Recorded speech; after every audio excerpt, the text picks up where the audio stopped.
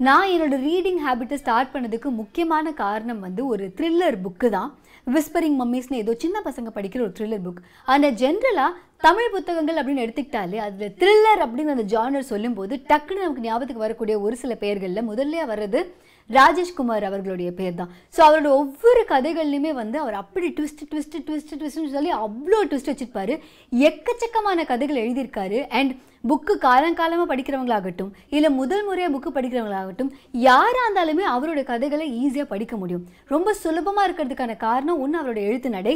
இன்னொரு பக்கம் அந்த த்ரில்லிங் அந்த ஒரு ட்விஸ்ட் ட்விஸ்ட்டாக இருக்கிற விஷயங்கள் தான் நள்ளிரவு செய்திகள் வாசிப்பது துர்கா.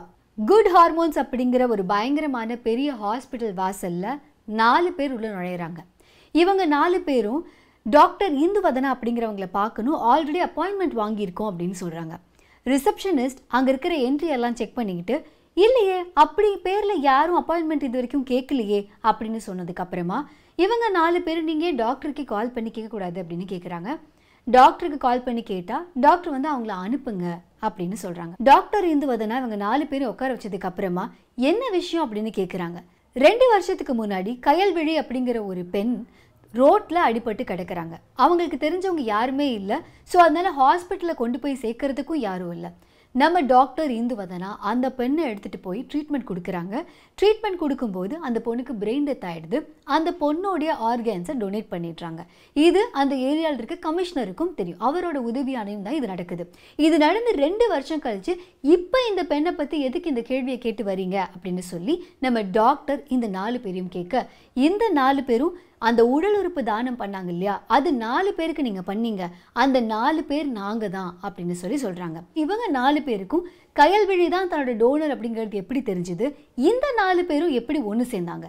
அதுக்கு நம்ம அப்புறமா வருவோம். ஆனால் இந்த நாலு பேரும் இன்னைக்கு நம்ம டாக்டர் சந்திக்க வந்ததுக்கான ஒரு காரணம் என்ன அப்படின்னா இவங்களை பொறுத்தவரை இவங்களுக்கு கிடைச்ச செய்தியின்படி கயல்விழியை டாக்டருக்கு முன்னாடியே தெரியும்.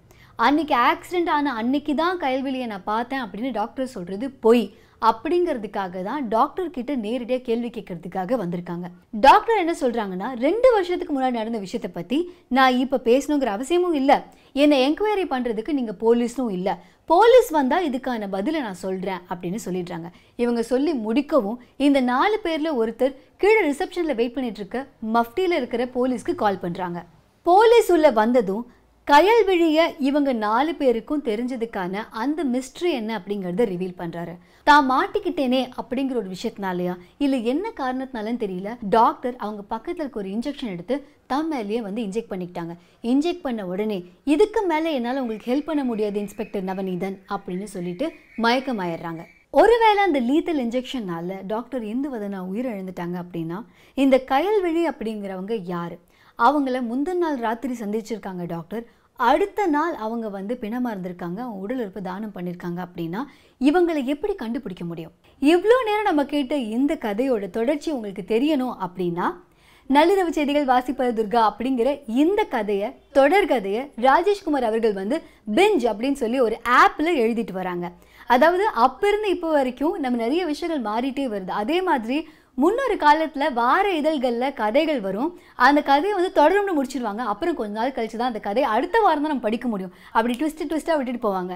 இப்போ டெக்னாலஜிக்கல் ஒரு ஏஜ் அப்படிங்கிறதுனால எப்போவுமே நம்ம ஃபோனும் கைமா இருக்கும் அப்படிங்கிறதுனால அந்த மாதிரியான ஆத்தர்ஸும் அதே ரைட்டிங் ஸ்டைலை இங்கே வந்து கொண்டு வந்திருக்காங்க ஸோ இந்த பெஞ்ச் ஆப்பில் ராஜேஷ்குமார் அவர்கள் வந்து இந்த கதையை வார வாரம் புது புது எபிசோட்ஸ்லாம் ரிலீஸ் ஆகிட்டு இருக்கும். இப்போ நான் பேசிட்டு இருக்க தருணத்திலேயே ஆல்ரெடி நாலு லட்சத்தி அறுபத்தி மூணாயிரம் பேர் இந்த கதையை படிக்க ஆரம்பிச்சிட்டாங்க படிச்சுட்டு இருக்காங்க.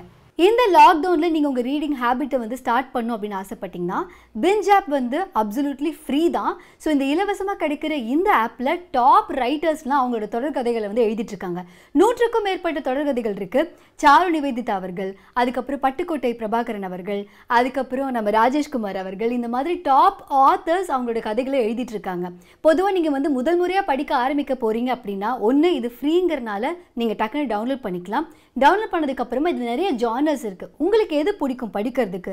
கதைகளில் த்ரில்லர்ஸ் பிடிக்குமா? இல்லை ரொமான்ஸ் ஃபிக்ஷன் பிடிக்குமா? இல்லை வந்து உங்களுக்கு ஹிஸ்ட்ரியை பற்றி தெரிஞ்சுக்கிறதுக்கு விருப்பமா? இந்த மாதிரி எல்லா ஜானர்ஸ்லையுமே வந்து அங்கே அவ்வளோ கதைகள் இருக்குது ஸோ உங்களுக்கு பிடிச்ச கதைகளை நீங்கள் சூஸ் பண்ணி இந்த டாப் ஆத்தர்ஸ் எழுதுறாங்க அப்படிங்கிறனால காலங்காலமாக பல பேர் வந்து படித்து பாராட்டிய ஆத்தர்ஸ் அப்படிங்கிறதுனால இவங்களுடைய கதைகளை படிக்கிறதுக்கு இன்னும் சுலபமாகவும் இருக்கும். என்ன அனந்தி ப்ரமோட் பண்ணுறியா அப்படின்னு கேட்டால் ஆமாம் நிஜமாக ப்ரமோட் தான் பண்ணுறேன் பட் என்ன விஷயம்னா இந்த லாக்டவுன் பீரியடில் எத்தனையோ விஷயங்களை ப்ரமோட் பண்ணலாம். பட் இந்த நேரத்தில் அதிகமாக படிக்கிறதுக்கு ஒரு ஆப் வருது அப்படின்னா நிஜமாவே அது ஒரு நல்ல விஷயம் தான் இந்த ஒன்று யாருக்கு என்ன நஷ்டம்? இலவசமாக கிடைக்குது. அது மட்டும் இல்லாமல் இதில் நிறைய சாப்டர்ஸில் இதை படிக்கிறதுக்கு எவ்வளோ நேரம் ஆகும் அப்படின்னு கொடுத்துருக்காங்க. ஸோ எனக்கு ஒரு அரை மணி நேரம் தான் டைம் இருக்குன்னா அரை மணி நேரத்தில் என்னால் எவ்வளோ படிக்க முடியுமோ அதை நான் சூஸ் பண்ணி படிச்சுக்கலாம். இந்த இலவசமான பெஞ்ச் ஆப் உங்களுக்கு வேணும் அப்படின்னா அது டவுன்லோட் பண்ணுறதுக்கான லிங்க் வந்து கீழே இருக்குது இந்த ஆப்பில் இன்னும் எனக்கு பிடிச்ச விஷயங்கள் என்ன அப்படின்னா ரொம்ப நேரம் நம்ம படிக்க முடியாது. பல மணி நேரம் உட்காந்து படிக்க முடியாது.